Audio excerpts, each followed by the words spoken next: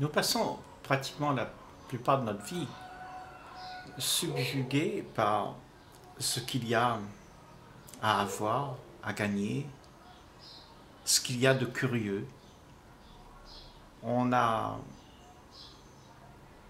le sentiment que quelque chose doit être débusqué, doit être vu.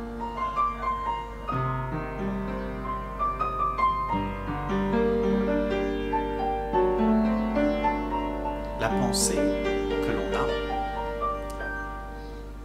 elle subjugue l'esprit. La pensée, c'est quelque chose qui vient soudainement, c'est une mémoire qui sort du passé et qui vient d'un coup, qui subjugue. Que ce soit une mémoire de ce que l'on a vécu ou de ce que l'on a appris, comme étant des choses matérielles, la fenêtre, l'arbre, le carrelage, le piano, tout ça. Ce sont des pensées que nous avons en nous et qui nous qui se réitèrent, qui se réitèrent parce que ce sont des choses qu'on a appris. Et tout ce qui est appris, tout ce qui est mémorisé, revient sur la scène.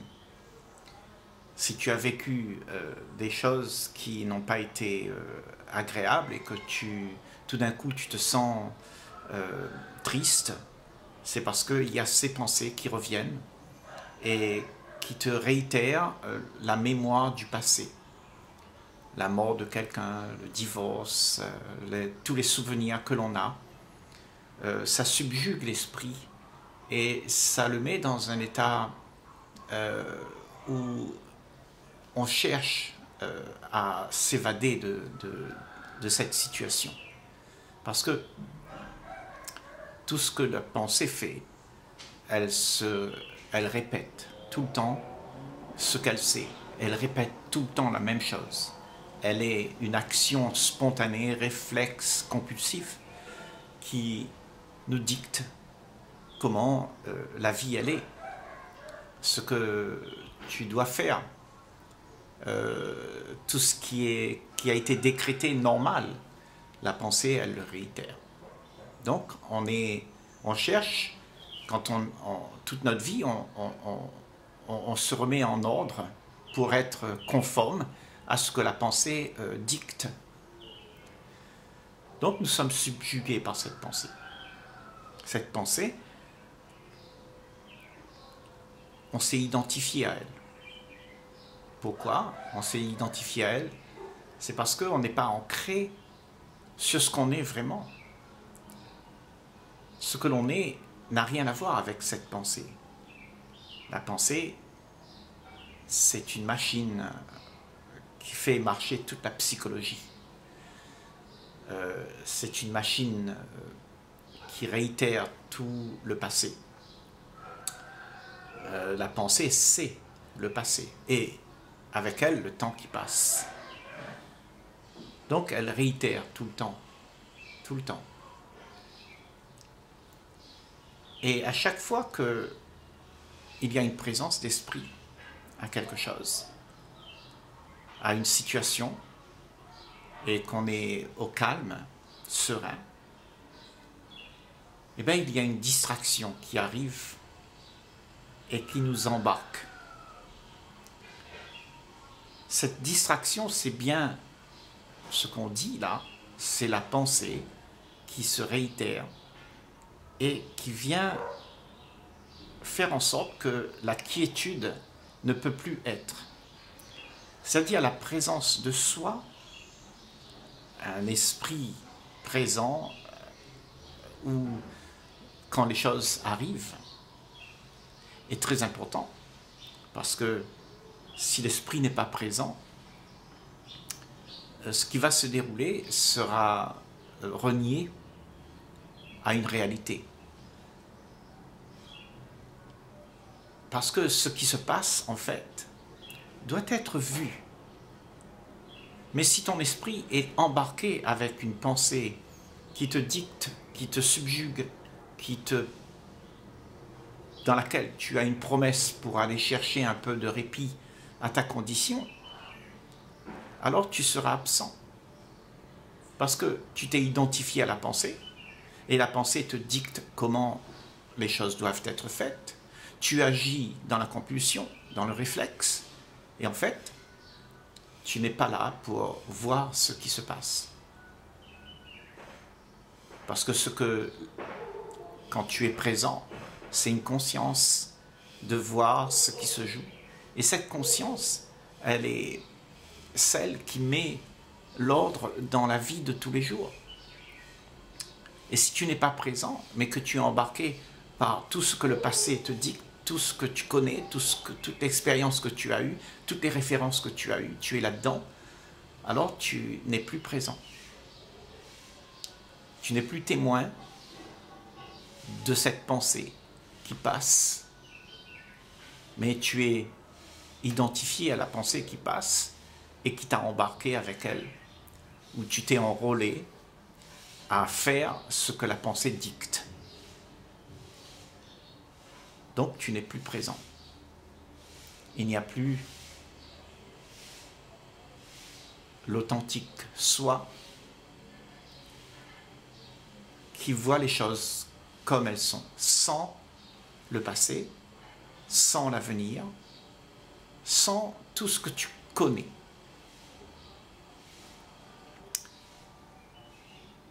Parce que ce que, tu es, au fond, quand la pensée n'est pas là, quand tu n'es pas embarqué par la pensée, ce que tu es, c'est un vide.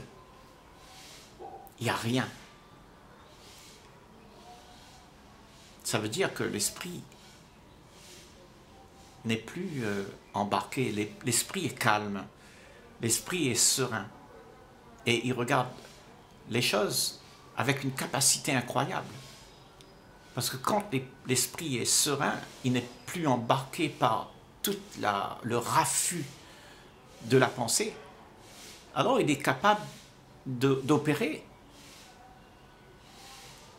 Et tout cet état où il y a une liberté de ce que la pensée, elle a, elle a subjugué. Il n'y a plus la, la pensée. L'esprit est libre de ça, de ce raffut. Alors, cet état-là, c'est le soi. C'est le soi libre de tout ce qui peut être dicté par ce que le passé et l'avenir proposent il y a un instant, une présence directe de ce qui est, sans passer par la mémoire de ce que l'on a appris. Le présent est là,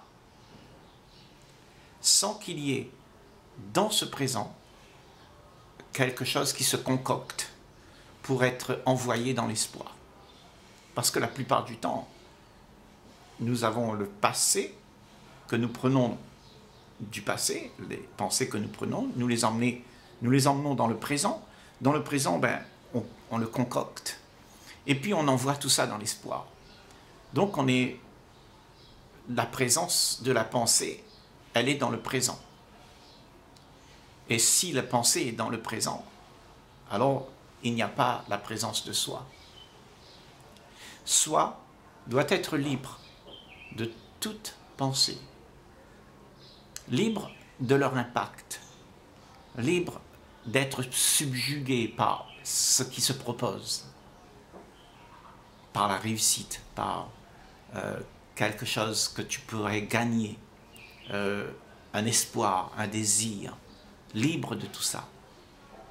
Si tu n'es pas libre de tes envies, de réussir, et de toute euh, l'ambition que tu as pour arriver, alors ton esprit ne sera pas dans la quiétude. Et à ce moment-là, un esprit qui n'est pas dans la quiétude, il n'est pas témoin. Il n'y a pas de témoin de ce que la pensée allait, puisque l'esprit est identifié à la pensée. Donc il n'y a plus le témoin de ce que la pensée propose. C'est pour ça que la paix, elle ne viendra que si tu acceptes de vivre libre, libre de toute distraction, libre de tout ce que tu te proposes à toi-même, libre de tes promesses de réussir. Parce que tout ça, c'est l'activité de la pensée qui subjugue l'esprit et l'emmène à s'activer, à s'affairer dans un espoir, l'espoir de réussir, qui sera demain, qui sera plus tard. Il n'y a pas maintenant la joie de vivre. La joie de vivre, à ce moment-là, elle sera pour plus tard. Et c'est ce que la pensée propose. Alors que quand il y a la présence d'esprit, quand l'esprit est libre, quand elle est vide de toute activité, elle n'agit plus avec ce que la pensée propose. Alors, il y a une telle joie de savoir que tu n'as pas besoin de rien faire pour trouver un bonheur. Alors, c'est là que tu vois tout l'impact de la pensée. La pensée, elle t'impacte. Rester présent, c'est crucial. Et voir, être au calme, voir ce qui se passe, observer, observer combien ton silence est subjugué. Reste tranquille, tu verras, assieds-toi, sans rien faire, sans rien attendre, sans rien demander, tu verras combien de pensées viennent te distraire. Alors, quand elles viennent te distraire, sois-en témoin, mais ne va pas avec elles, ne t'enrôle pas dans la pensée, parce que elle t'embarque sur un chemin où il y a déception, toujours déception après déception, et insatisfaction, puisque jamais ton espoir ne sera assouvi.